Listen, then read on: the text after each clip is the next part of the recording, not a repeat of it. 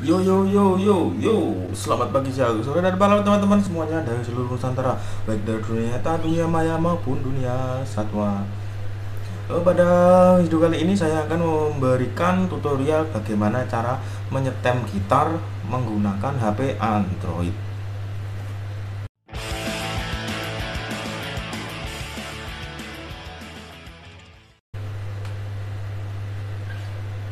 Nah, ada beberapa macam beberapa cara, ada beberapa cara untuk menyetem menyetem, ada beberapa cara untuk menyetem gitar ya. E, di antaranya yang pertama adalah menggunakan feeling, menggunakan feeling. Kalau sudah pro player gitu menggunakan feeling langsung ini. Yang kedua menggunakan tuner bisa tuner dari built-in dari gitar seperti ini. Tunernya bisa menggunakan tuner jepit yang ada di sini, yang dijepit itu Nah, yang selanjutnya bisa menggunakan tuner uh, Android ya, tuner dari HP Android yang bisa di-download. Nah, karena kita hari ini membahas uh, tuner yang dari Android, maka kita lupakan dulu tuner yang lain, kita fokus, fokus ke tuner dari HP Android ya. Sebelum menyetem gitar yang perlu kalian persiapkan pertama adalah gitarnya. Nah, gitarnya yang kedua adalah orangnya yang teman-teman. Nah yang selanjutnya adalah aplikasinya atau softwarenya atau APK atau pokoknya tunernya yang di Android itu ya kalian bisa download di Google Play Store. Nah caranya gimana? Jadi begini. Nah yang pertama adalah kita download dulu aplikasi tunernya ya di Play Store. Nah kita buka Play Store terlebih dahulu lalu kita cari tuner. Nah kebetulan sudah ada. Ini ada eh, banyak banyak macam tunernya ya.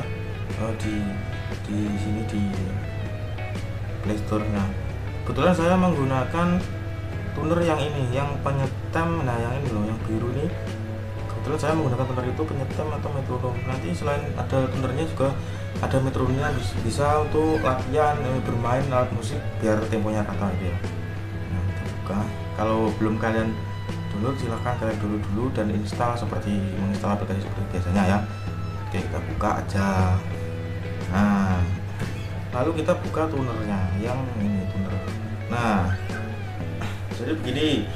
Uh, yang perlu kalian hafal saat menyetem yaitu yang pertama adalah urutannya dari senarnya dari atas saya biasanya urutannya ini tuning standar ya. Kalian pakai tuning standar aja nggak usah pakai tuning yang drop dropan atau tuning open openan yang aneh-aneh gitu. Uh, pakai kita pakai tuning standar aja.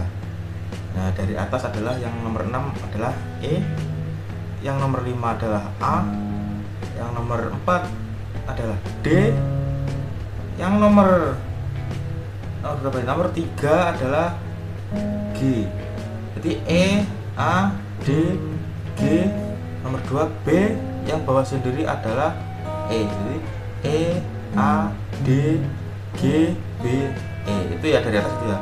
Yang perlu kalian hafal eh, sebelum hitam adalah itu tuning standarnya yaitu dari atas E A D G B E. Nah mudah dipahami ya. Oke langsung saja caranya bagaimana? Ini tunernya ya kita tinggal mendekatkan gitar gitar kita ke tuner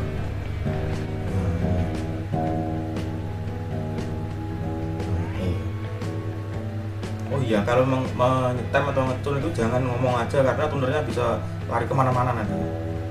Kayak. Nah, nah kalau hijau begini berarti pas itu yang udah hijau yang dari E yang pertama adalah E. Saya biasa menyetem itu dari atas ke bawah lalu kembali ke atas lagi nanti bisa langsung pas.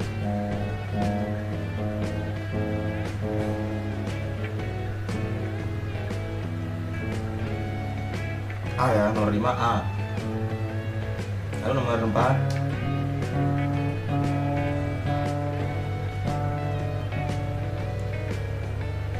D ya D nomor 3 G G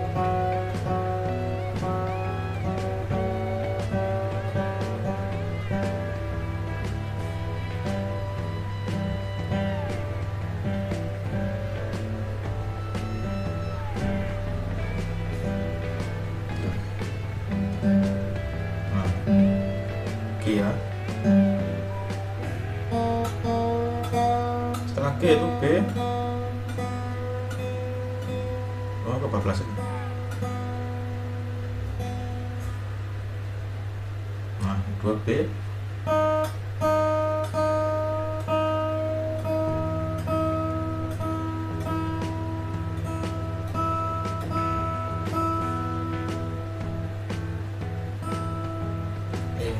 kita ulangi dari bawah biar uh, bisa pas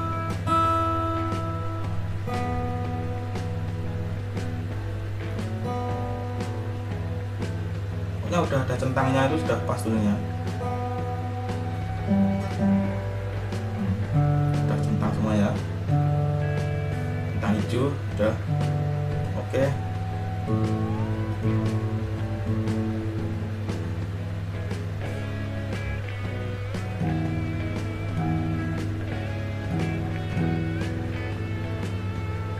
Nah langsung pas.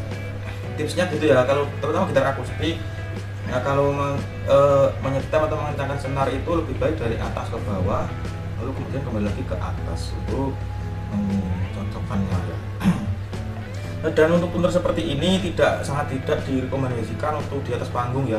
Nanti waktu main di panggung kita bisa roeng gitu kurang kurang sip. Lebih baik pakai yang tuner yang built-in ini atau tuner uh, pedal itu ya biar bisa silent dan nggak bisa nggak ada suara koin koin koin gitu di panggung nah kita coba nah langsung pas ya ininya ini tuning standar